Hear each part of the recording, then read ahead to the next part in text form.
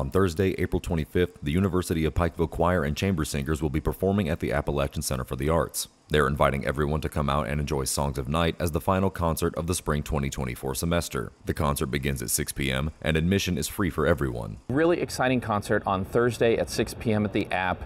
Uh, this concert will involve our concert choir and our chamber singers. So, chamber singers is our audition group, and concert choir is our uh, on, larger ensemble that's uh, open to both the public and to any students non audition. Uh, we've got a really exciting concert planned. It all revolves around themes of the night. So, everything from music about the evening and lullabies and you know putting your children to bed to music that covers the stars and the moons to music about dreams, and then it culminates with a really wonderful wonderful Dolly Parton tune, Light of a Clear Blue Morning, with a fantastic soloist, uh, Julia Underwood, who's a senior and will be graduating this year. But uh, really exciting concert, and we're really, we really feel fortunate that we're able to have it at the app.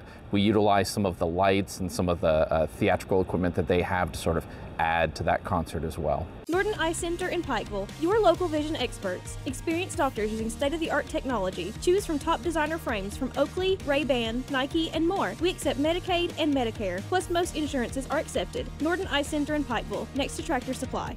The set list for the evening explores the concept of Dusk Till Dawn, providing a variety of musical compositions. Rutherford and his students have prepared well for the show. It's all over the place. So uh, there, there's definitely some fast music, some music about uh, shining lights, stars, things of that nature, but also at the same time, some music that's a little bit more low key and uh, relaxing as well.